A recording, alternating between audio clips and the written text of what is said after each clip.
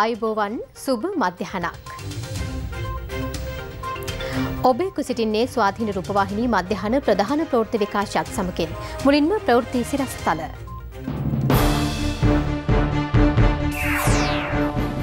හෙට නිවාඩුව රාජ්‍ය පෞද්ගලික බැංකුවලට වලංගු නෑ. ආණ්ඩුව අපහසුතාවට පත් කරන්නේ නෑ. පළත් සභාවට වෙනම තරඟ කරන්නෙත් නෑ. දයාසිරි ශ්‍රීලනිප මතය කියයි. උත්සව සමේ රතවාහන පොලිසියේ නවදහසක් පාරවල්වල. ගුවනේ දස්කම්පෑ රණවිරුවා මහමුහුද තරණයෙන් වාර්තාවක් තියයි. පිළිකාරෝගීන්ට ජීවය දෙන්න අනූපමය සේවයක් කළ වෛද්‍ය වසන්ත ජීවිතයෙන් සමුගනි. මියන්මාරය විශාලාවක් වෙයි. ඊයේත් අසූවක් මරුට.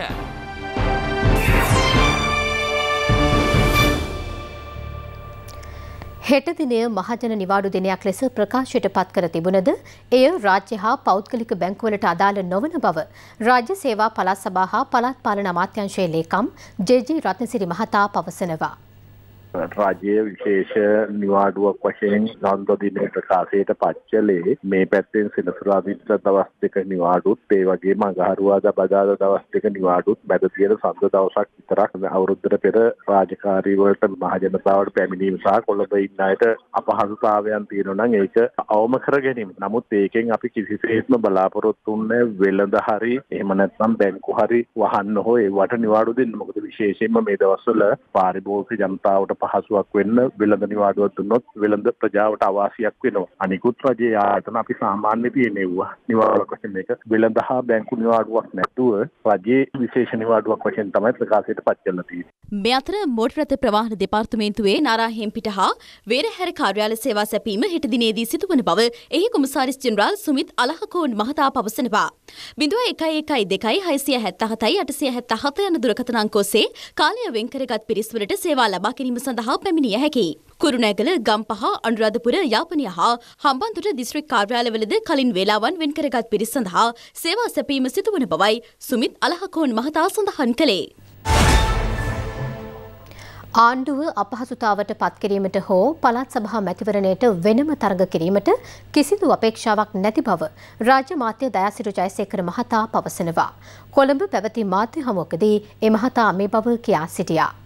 අපි ඉන්නේ පොජ්ජන පෙරමුණත් තවත් පක්ෂ ගන්නාවකුත් එකතු කරගත්ත එක සන්ධානයගේ සන්ධානය මහිතන්නේ කඩන්න කාටත් උමනාවත් තියෙනවා කියලා. ඒ නිසා ඒක එහෙම කිසිම සන්ධානයක් හදන්න අපේ බලාපොරොත්තුවක් නැහැ. නමුත් අනිකුත් පක්ෂ ගණනාවක් අපේ පක්ෂ 10ක් 11ක් විතර ප්‍රමාණයක් යම් යම් කරුණු සම්බන්ධව මතයකට එන්න සාකච්ඡාවට කිපයක් තිබුණා. ඒක එකමුතුවක්. ඒක මේ වෙන සන්ධාන දන්නවත් වෙනම ඡන්ද ඉල්ලන්නවත් වෙනම ක්‍රියාවලියකට නෙමෙයි. 69 ලක්ෂයක ඡන්දෙ දුන්න අයට යම් සාධාරණයක් ඉෂ්ට කරන්නත් අපිට කළ හැකි ක්‍රියාමාර්ග ටික අපි ගත යුතුයි කියලා ඒ ඒ තීන්දුවට ඇවිල්ලා තියෙන. ඒ නිසා අර වෙන කිසිම විදියකට ආණ්ඩුවට විරුද්ධව හෝ ආණ්ඩුව අපහසුතාවයට පත් කරන්න කිසිදු ආකාරයේ එකමුතුවක් නෙවෙයි ඒකමුතුව කියලා මේ අවස්ථාවේ කියන්න.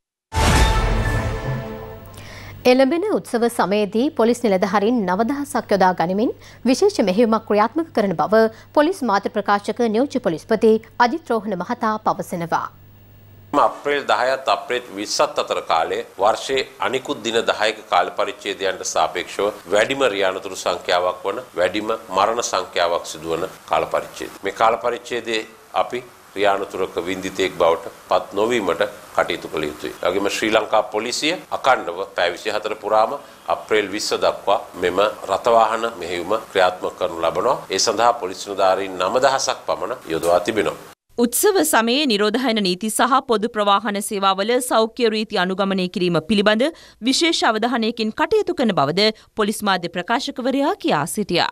පාරිභෝගික සේවා සපයන වෙළඳසැල් වල පොදු ප්‍රවාහන සේවාවලද යම් යම් ක්‍රියාකාරකම් සාද පැවැත්වෙන ස්ථානවලද සෞඛ්‍ය උපදෙස් වලට පරිබාහිරව කටයුතු කරන ආකාරයක් නිරීක්ෂණය වුණා. මේ නිසාම ඊයේ පොලිස් මුලස්ථානයේ විසින් විශේෂ චක්‍රලේඛනයක් සියලුම පොලිස් ස්ථානාධිපතිවරුන් සහ ඉහළ පොලිස් නිලධාරීන් වෙත නිකුත් කර තිබෙනවා. මේ ඉදිරි සතියක කාලය තුල ශ්‍රී ලංකා පොලිසිය මේ පිළිබඳව නිරන්තරයෙන් විමසිල්ලෙන් පසු වෙනවා.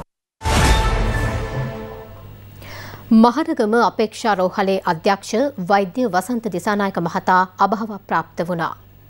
දීර්ඝ කාලයක් අපේක්ෂා රෝහලේ පරිපාලන කටයුතුවල නිරත වෙමින් රෝගීන්ගේ සුභසිත වෙනුවෙන් එමහතා විශාල කැපකිරීමක් සිදු කළා. මිය යන විට වෛද්‍ය වසන්ත දිසානායක මහතා පසු වූයේ පනස් අට හැවිරිදිවියයි. වසර දහතුනකට ආසන්න කාලයක් එමහතා අපේක්ෂා රෝහලේ නියෝජ්‍ය අධ්‍යක්ෂ ධූරය දැරු අතර දෙදහස් දහනමය වසරේදී අධ්‍යක්ෂ ධූරයට පත් වනා. වසන්ත දිසානායක මහතා කොළඹ ආනන්ද විද්‍යාලයේ ආදි සිසුවෙක්. දේහය පිළිබඳ අවසන් කටයුතු පසුව දැනුම් දෙන බවයි පවුලේ ඥාතීන් සඳහන් කළේ. අපේ ජීවිතය හරි අනිත්‍යයි. අපි මෙහෙම හිටියට අද හෙට අපිට මොනව වෙනවද දන්නේ. ඒ හින්දා අපි මේ ඉන්න කාලේ සතුටින් ගත කරන්න ඕනේ. ඒ වගේම අනිත් අයට උදව් කරන්න ඕනේ. ඒක තමයි මං අවුරුදු 18කට ඉගෙනගත්ත එකම පාඩම. මේ රෝහලට ගොඩක් අය එන්න ඇති, ගොඩක් අය හොඳ වෙලා යන්න ඇති, ගොඩක් අය සමහරට මියන්න ඇති. ඒත් රෝහල දැන් එදාට වඩා ගොඩාක් අද දියුණු තත්ත්වයේ තියෙනවා. ඒකට මං ශක්ති ප්‍රමාණයෙන් දායක වුණ නිසා මට නිහතමානී ආඩම්බරයක් දැනෙනවා. ගුවනේ දස්කම් විස්කම් පාපු අපේ රණවිරුවෙකු මහමුහුද තරණය කරලා නව ආසියා වාර්තාවන් තබන්න සමත් වනා. ඒ පෝක් සමුද්‍ර සන්ධිය තරණය කර දෙවරක් පිහිනීමෙන්.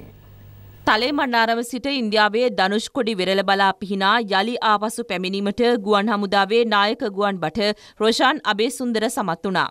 ඒ සඳහා ඔහු ගත කළ කාලය පැවිසි අටයි විනාඩි දහ නවයක් හා තප්පර හතලිස්තුනක්. කිලමිටර් පනස් නවයයි දශම තුනක දුරක් ඔහු මුහුදේ පිහිනා තිබෙනවා. ඊ අලුයම දෙකට තලේමන්නාරා මුහුදු තීරයෙන් පිහිනීම ආරම්භ කළ රෝෂාන් අබේ සුන්දර ආපසු තලේමන්නාරම දක්වා පැමිණියේ අද පෙරවරු හතට පමණයි. ගුවන් හමුදාපති ආමාශල් සුදර්ශන පතිරණ මහතාගේ පූර්ණ සහයෝගය හා මඟ පෙන්වීම යටතේ මෙම වාර්තාව තැබීමට රොෂන් අබේ සුන්දරට හැකි වුණා. මීට පෙර මෙම දස්කම දක්වා තිබුණේ කුමාර් ආනන්දන් පිහිනුම් කරුවායි. එක්දහස් නවසය හැත්ත එක වසරේදී ඔහු පැය පනස් එකකින් ඉන්දියාවට පිහිනා ගොස් නැවත පැමිණ තිබුණා. මාතර මධ්‍යමහා විද්‍යාලය ආදි සිසුවෙකු වන රොෂා නබේ සුන්දර මෙවන විට තිස් දෙහැවරිදිවයේ පසුවනවා. පසුගේ මාර්තු විසි එක්වනදා කිලෝමිටර් හතලිස් නවයක් පැවිසි තුනක් ඇතුළත මුහුදේ පිහිනා නව ජාතික වාර්තාවක් පිහිටුවීමටද ඔහු සමත් වුණා. ජනාධිපති ගෝඨාභය රාජපක්ෂ මැතිතුමාගේ ගම සමග පිළිසඳරක් වැඩසටහනේදී ලබා දුන් තවත් පොරොන්දුවක් වවුනියාව ප්‍රදේශයේදී පළදැරුවා. වවුනියාව බෝගස්වව ප්‍රදේශයේදී පසුගියදා පැවති ගම සමග පිළිසඳරක් වැඩසටහනේදී ජනතාව ඉල්ලා සිටියේ තමන්ගේ කෘෂිභෝග මිලදී ගැනීමේ මධ්‍යස්ථානයක් ඉදිකර දෙන ලෙසයි. මෙම ප්‍රදේශයේ පවුල් දසදහසකට වැඩි සංඛ්‍යාවක් කෘෂිකර්මයෙන් ජීවත්වන අතර ඔවුන්ගේ අස්වනු අලවිකර ගැනීමේ දැඩි ගැටලුවක් දීර්ඝ කාලයක් මුළුල්ලේ පැවතුනා. නව මධ්‍යස්ථානය මගින් වසවිස නොමැති කෘෂිපෝක මිලදී ගැනීම සිදුවනවා. උදු සෝයා බඩයිරිංගු ඇතුළු බෝගවර්ග රැසක් මිලදී ගැනීම ඒ සිට ආරම්භ වූයේ වෞනියාව දිස්ත්‍රික් ලේකම් එස්.එම්. සමන් බන්දුලසේන මහතාගේ ප්‍රධානත්වයෙන්.